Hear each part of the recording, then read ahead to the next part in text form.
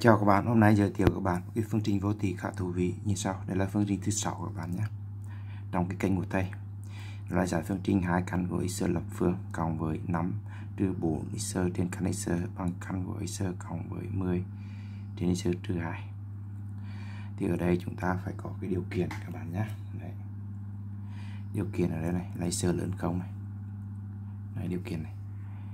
Đấy, x lớn không này. Còn điều kiện này là thì ta nhân hạn các từ ở màu cho cái phương trình này là cái này sẽ là x bình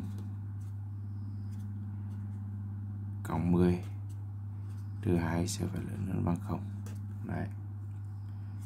Thì cần luôn thỏa mãn và chung quy lại cái điều kiện này là x lớn hơn 0 đấy.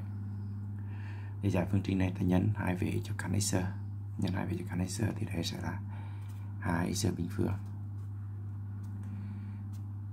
trừ đi 4 cộng 5 còn nhận căn x đưa vào đây khử x thì đây sẽ là căn của x bình phương. Trừ 2 x cộng với 10 đó.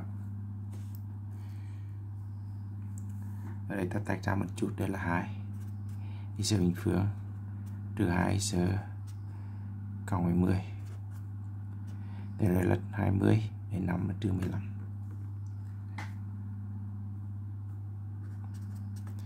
bằng căn của x bình phương trừ 2 x cộng 10 và đến đây các bạn đặt cái này bằng t.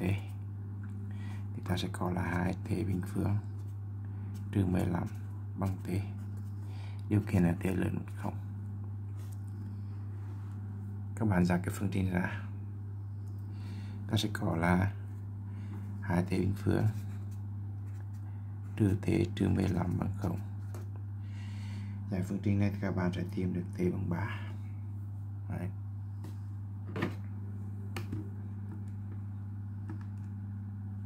Thì 2 bằng này, Trừ 1 bằng này, Trừ 15 bằng x bằng 3 và x bằng trừ 5 phần 2 Tức là t t bằng 3 này, Và t bằng trừ 5 phần 2 Giá trị này bị loại các bạn này trình thỏa mãn thì loại này.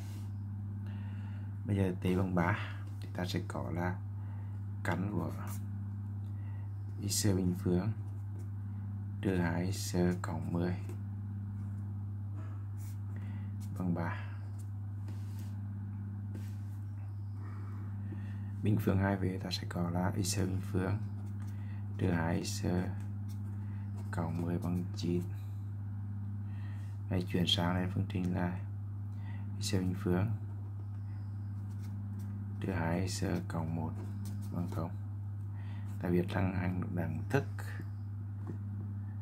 Là gì? Đấy x trừ 1 tất cả bình phương bằng không và nghiệm x bằng 1 bằng 1 thỏa mãn các bạn nhé. Đấy. cái bài nhìn công canh như thế những cái biến đổi đặt ấn phù đơn giản các bạn nhé. Hẹn gặp lại các bạn trong dịp gần nhất